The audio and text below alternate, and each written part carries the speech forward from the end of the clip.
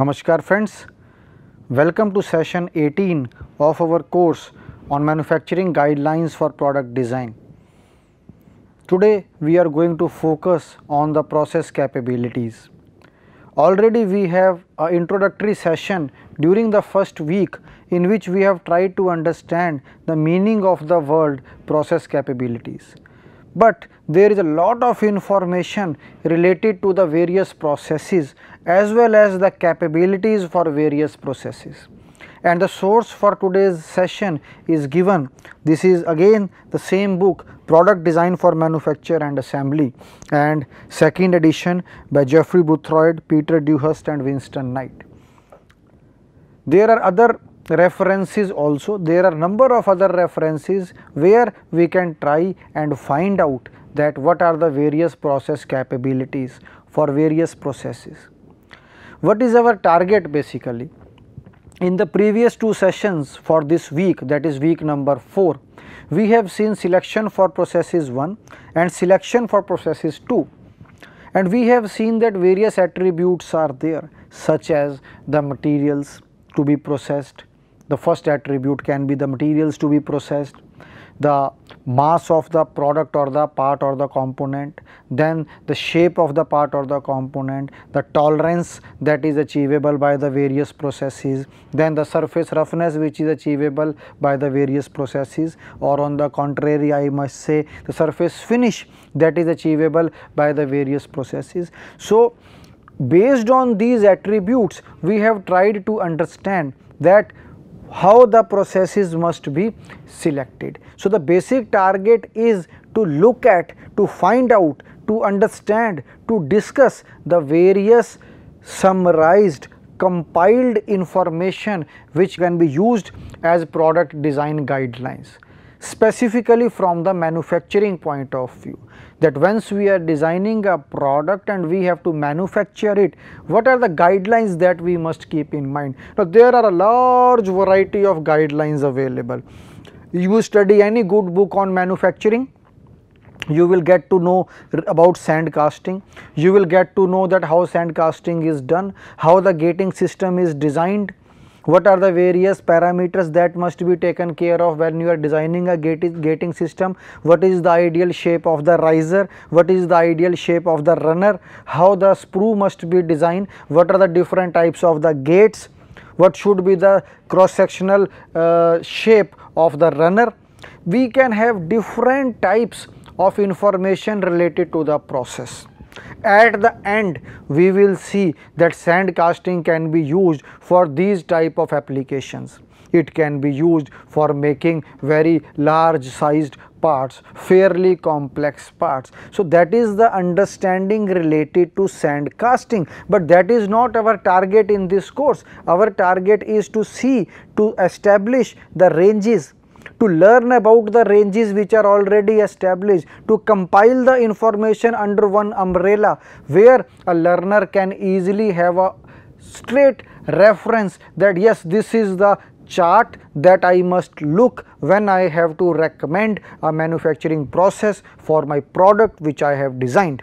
So, a product designer designs a product, he has to now suggest that which process must be used. So, he must have a compiled information, he may not be from the mechanical engineering background and we are not suggesting also that he must go and first study mechanical engineering for 4 years or production and industrial engineering for 4 years to gain the information related to manufacturing.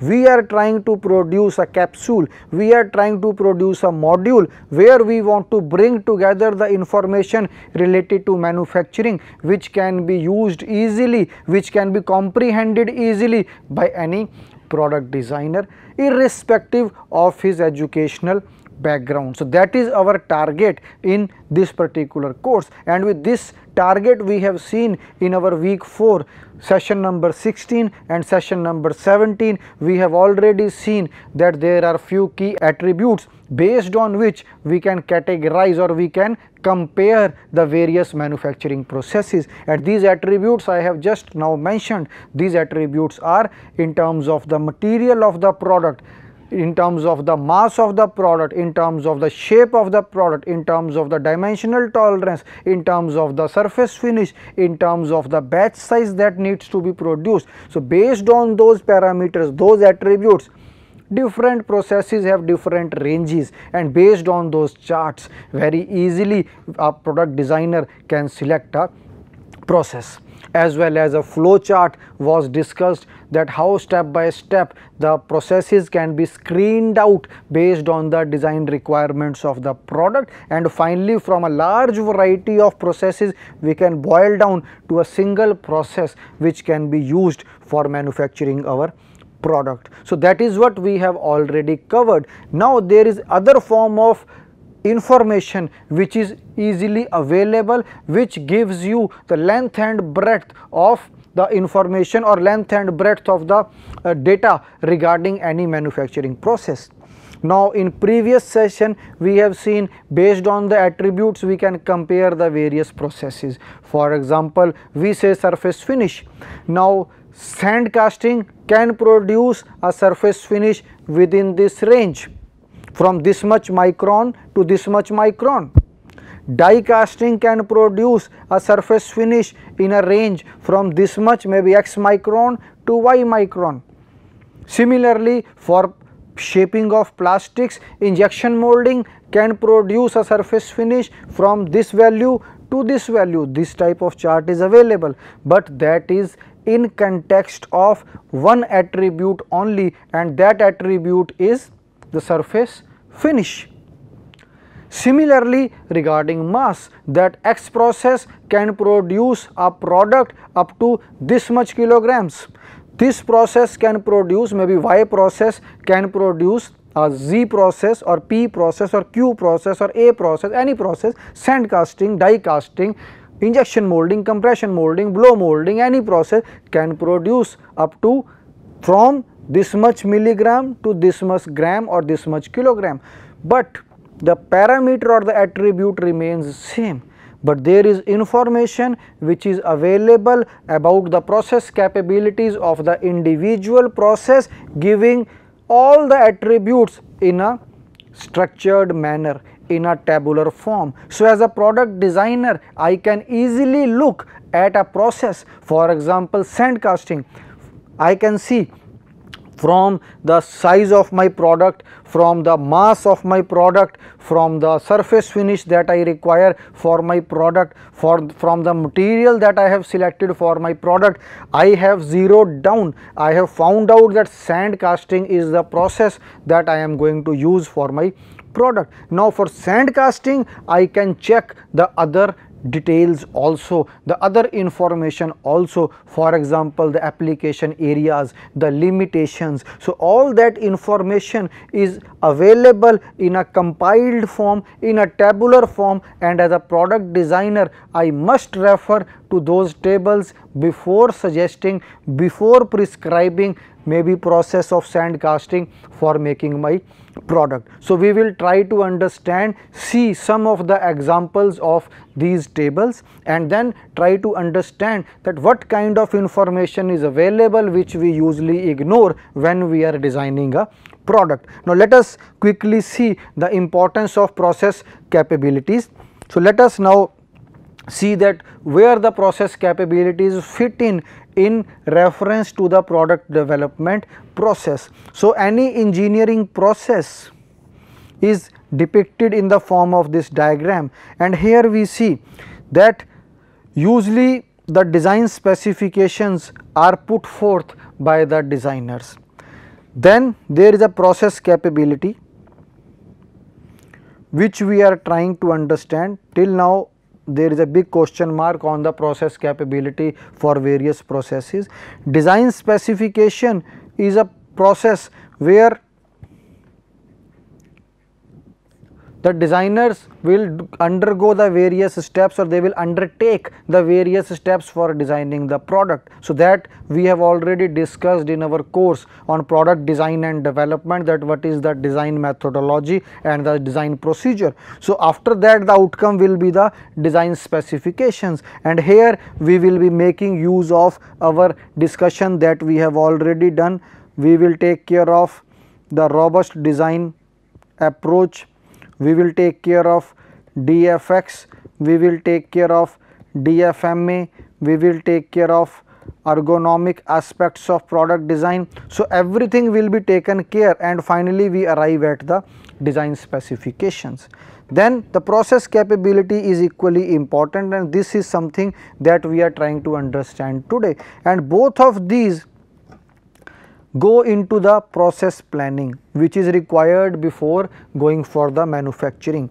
And once we do the process planning we know the process capability. Here we know the design of the product is already available as well as from process capability we select the process also that which process is going to be used. And then we go to the processes.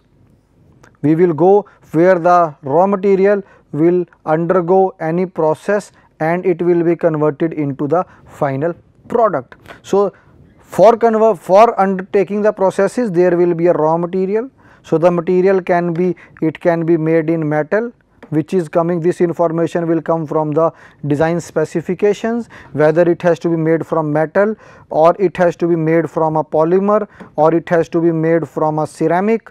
So, all information is laid out in the design specification and from here the raw material will go. The process has already been decided based on the process capability and process planning has been done. So, maybe the process identified is casting, the material identified is suppose metal, it has to be made by casting process. So, we do the two things and we bring the material cast it and then we get the finished part and the finished part it can be good, it can be bad. If we make a bad part it will undergo the inspection and if inspection is done it can give a feedback to the design specification. So, the design specifications will give that what has to be checked after the final product is made we know that which parameter has to be inspected. Maybe the length has to be inspected. And once the length has to be inspected we will check the length.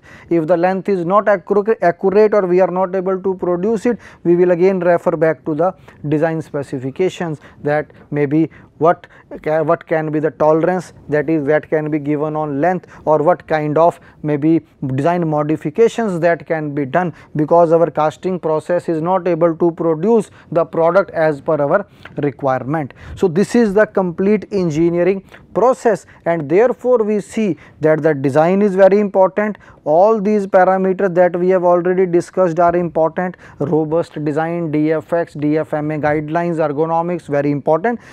Similarly, the process capability is also very very important. So, we have very good designers who are very good from the designing point of view, but maybe where we lack is the understanding of the process capability and that is what is the target of our discussion that after going through the course each and every learner must have this idea of the information which is already available, how to use this that information that is what is the target of our course. Now, let us try to see from process capability point of view that how we can refer to the information which is available with us. Now, process capabilities let us try to understand the word what is a process? A process is a certain way an operation is carried out. For examples are given turning, drilling, milling, you can have other examples for shaping the parts, you can have casting, you can have injection molding for plastics, any process. So, in the process it is a certain way, method, procedure in which it is being carried out. What is a tool? A tool is a physical object which is used to carrying out the process. For example, a twist drill, a spade, a gun drill, sometimes we can you call it as a mold, it can be a die, it can be any tool that we use to convert the raw material into the final product. Then the what is the machine tool? Machine on which the process is carried out, lathe, drill press, milling machine, injection molding machine, compression molding machine, extrusion machine, filament winding machine, pultrusion machine, different types of machines are there which provide the relative motion between the tool as well as the die or between the material and the tool. So, that is basically what a machine tool is. Now, what is a process capability? Now, process capability will work around these three things that we have already seen the process, how the material is getting converted from the raw material into the final product, the tool that we are using and the machine that we are using for making the product. Now, what is the process capability? The geometry and tolerance, geometry which we can say as the shape. We will have little more discussion on this uh, shape maybe in the subsequent slides. The tolerance one of the attributes already covered in section uh, uh, discussion in our previous session that is session number 17 already we have covered. The geometry and tolerance a manufacturing process can produce.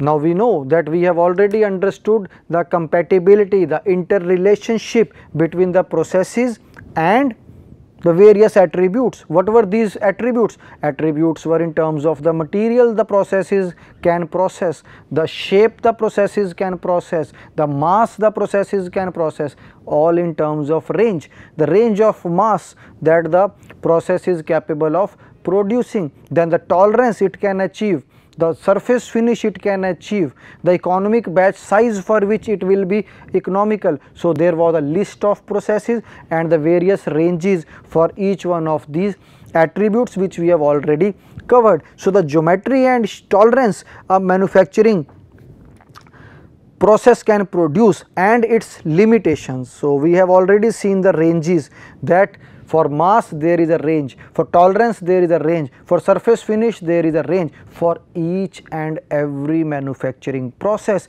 right from the processes related to metals to the processes related to polymers to the processes related to ceramics limitations that is shape and size the process can produce, dimensional and geometrical tolerances the processes can achieve, material removal rate the process can achieve especially relevant in unconventional machining of materials such as processes of electric discharge machining, ultrasonic machining, electrochemical machining. So, for all these processes how much material removal rate a process can achieve is also a process capability why? Because sometimes the material removal rate may be so low that the process becomes unproductive for specifying it for a large economic batch size. So, when you have a very very large batch size your process is very very slow the material removal rate is very very less you will say no I do not want to use this process because it is not giving me the desired material removal rate or in other words the desired productivity.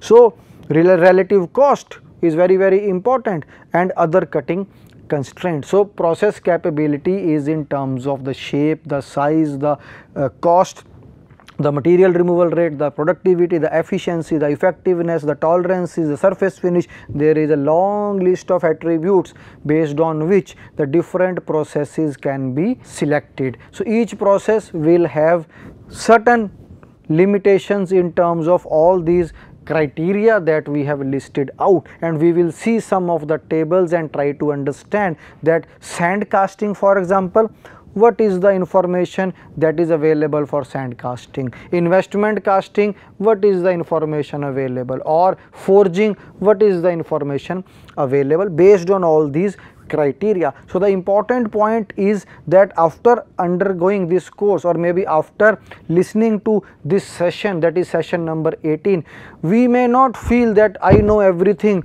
of mechanical engineering now, but at least we will have an information that such type of compiled information is easily available which can be used while designing our products. And during the designing when we have to specify that which manufacturing process must be used for producing this product again and again I am emphasizing because sometimes we may feel that I do not memorize that what was discussed in the session. So, it is not regarding memory it is regarding the information that you have that this type of information is available and must be used. So, let us now quickly see that uh, process capabilities that uh, with the example maybe for the for specifically we will focus on the shapes and then try to see that which process can produce which type of shapes. So, each process can be analyzed to determine the range of its capabilities in terms of the attributes of the parts that can be produced which already we have seen in session number uh, 16 and 17 during week 4. Included in these capabilities are shape features which we will try to highlight today that can be produced, natural tolerance ranges which we have already seen, surface roughness capabilities and so on so forth. So, there are other criteria or attributes also which can help us to select the manufacturing process. These capabilities determine whether a process can be used to produce the corresponding part attributes. So, each product will have some part attributes and those attributes we need to match with the process and then find out whether the process can be used for manufacturing that part or product or not. So, let us now quickly talk about the shape attributes. So, the general shape attributes we will see some of the shape attributes. First one are the depressions. So, depression can be maybe this is a surface there can be some depression here. So, this can be one depression. So, the two important geometrical features here are the width as well as the depth of this depression. So, the ability to form recesses or grooves in the surface of surfaces of the part. So, this is the surface and in this surface we want to produce this depression. Now, each and every process cannot produce this kind of a depression. So, therefore, we have to see that this is my part attribute based upon the shape that I want to produce in my part. Then I have to look that which process is capable of giving me this type of a depression or this type of a recess or a depress. So, the ability to form recesses or grooves in the surface of the part.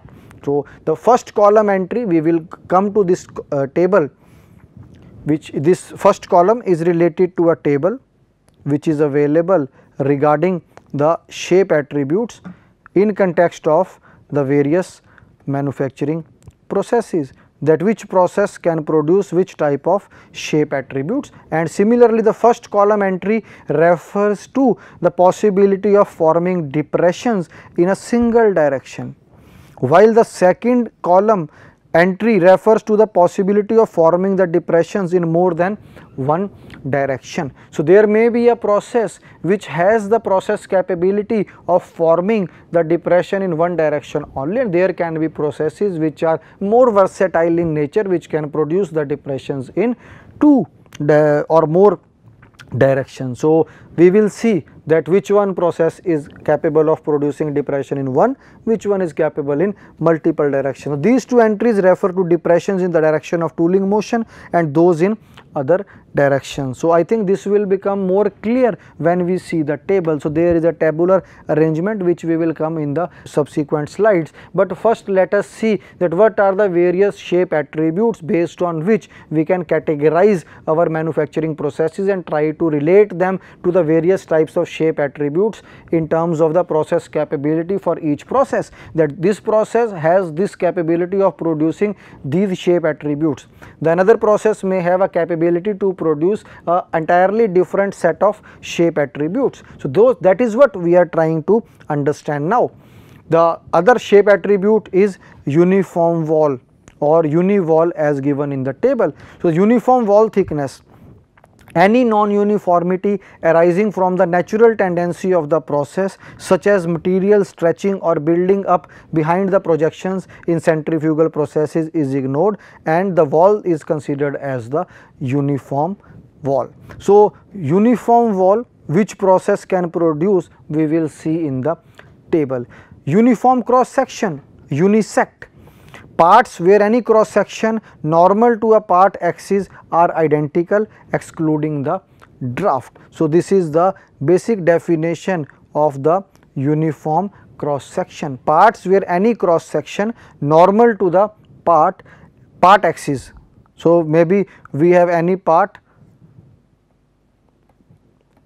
we have a part axis here. So, we can see parts where any cross section normal to the part axis maybe in this direction normal to the part axis are identical excluding the draft. So, this type of uh, shapes which process can easily form. Axis of rotation parts whose shape can be generated by rotating about a single axis or a solid of revolution. So, this is easily understood the axis of rotation regular cross section. Cross sections normal to the parts axis contain a regular pattern. For example a hexagon or a splined shaft. Changes in shape that maintain a regular pattern are permissible. For example a splined shaft with a hexagonal head. So which process is capable of producing the regular cross section or the reg xx or reg uh, regular cross section Captured cavities, the ability to form cavities with re-entrant faces for example a bottle. Enclosed parts that are hollow and completely enclosed. So, these are some of the general shape attributes then the draft free surfaces there is a long list of shape attributes that are uh, that can be interrelated to the manufacturing processes. So, one can be draft free surface for example, there is no draft on the surface. So, this is the table that I was referring to. Now, let us quickly see for example, our sand casting process depress first column in one direction it can produce as well as in the multiple directions also it can produce. Uniform wall thickness is achievable by sand casting, uniform section is, axis of rotation is also yes. So, y means yes here and means no. Similarly, let us now take blow molding. So, let us take another example that is blow molding. Now, in blow molding yes it can create depressions, but there is another term which is mentioned here as m. So, there are three terms basically we see y which means yes it can be done as we have seen in sand casting n means no not suitable for this type of characteristics. For example, we can take any n unisect it is blow molding is showing no. But what do we mean by m? m means that the product must have this special characteristics if it has to be made by the blow molding process. So, M means must have that characteristic. So, this type of information that we see here can be easily used by a product designer to select among the various manufacturing processes and on columns we have the various shape characteristics.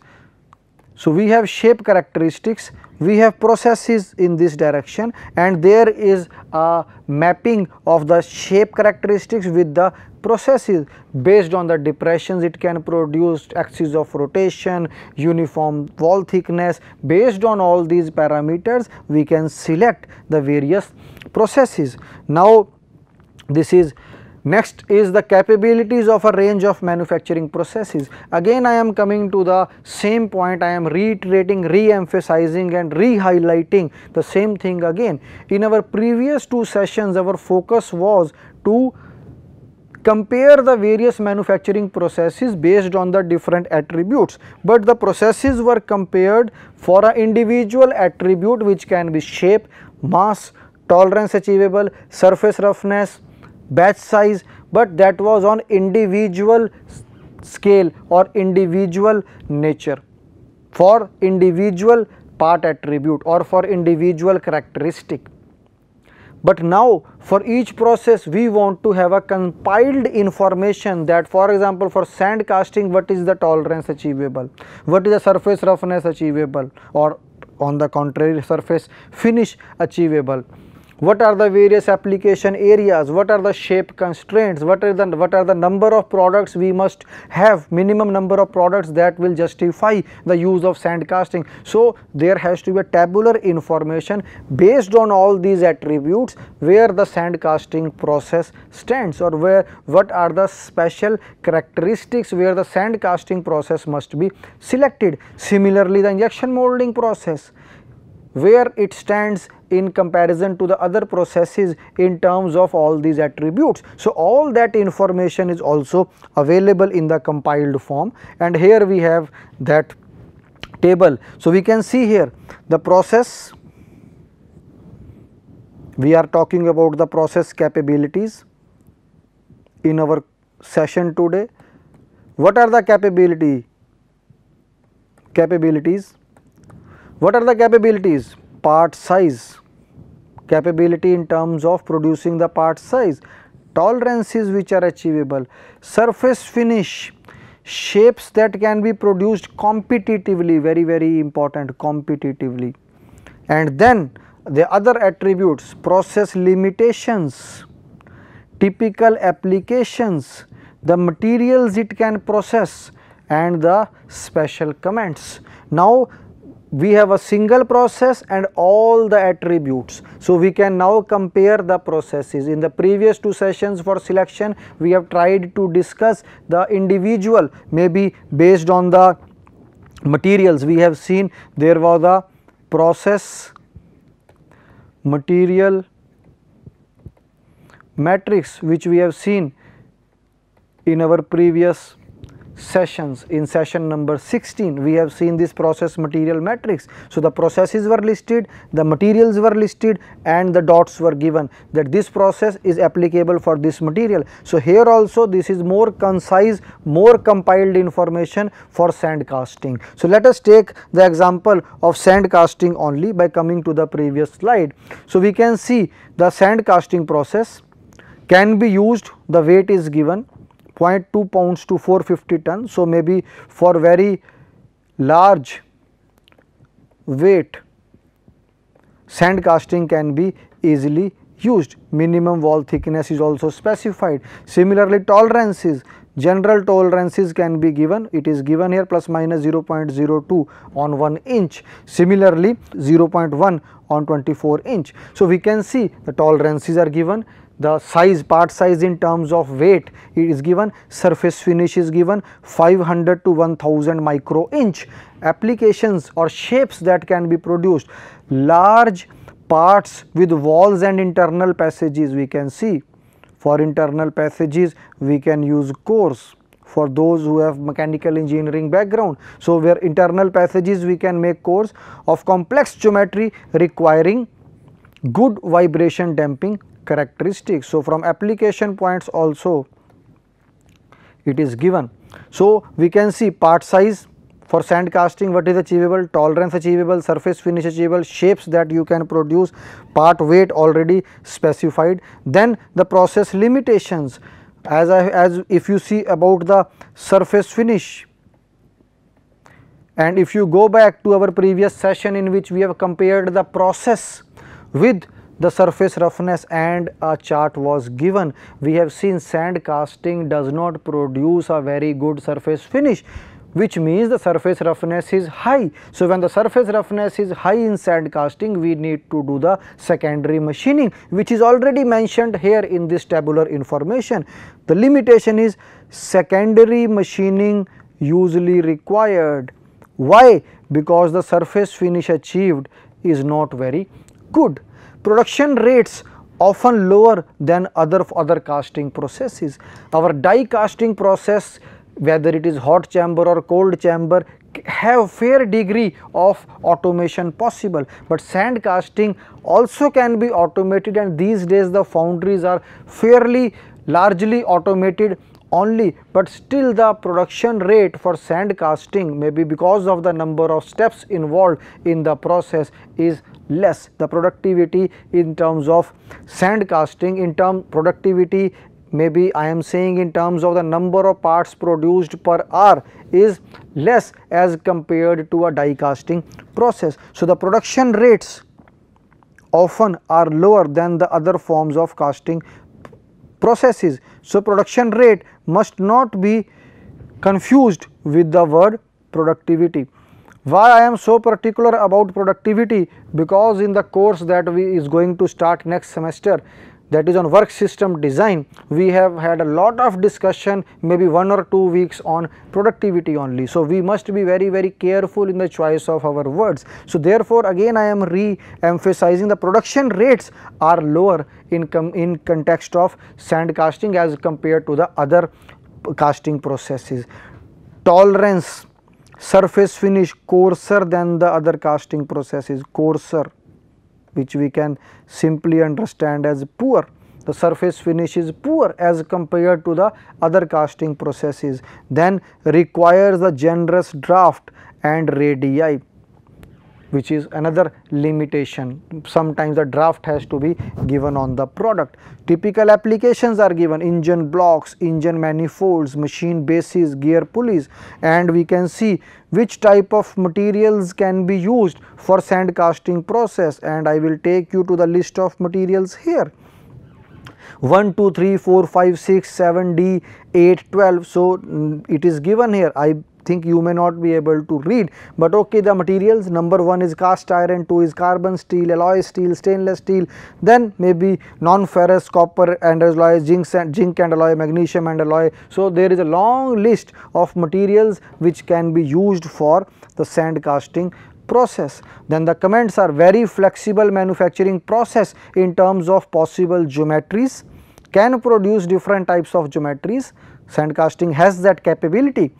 Part sizes can be different and possible materials because materials you can see here a long list of materials which can be produced by the sand casting process pattern is reusable and the mold is expandable. So, we can very easily reuse the sand that we are using for making the mold in case of sand casting and the pattern may be made of wood or metal is also reusable. So, this type of information gives a complete picture of a manufacturing process as we have taken an example of sand casting. So, if we can have this compiled information with us when we are designing our product and during that product design process wherever we have to specify the manufacturing process we can just have a look at this summary of manufacturing processes and this summary will definitely be helpful to us when we propose the manufacturing process for making our product. So, with this we conclude the today's session. In next session we will discuss specific product design guidelines related to the various manufacturing process that when we are designing a product what must be kept in mind when we are going to make the product maybe by sand casting process then followed by maybe by die casting process. So, that will be our objective of discussion in our next sessions. Till then, thank you.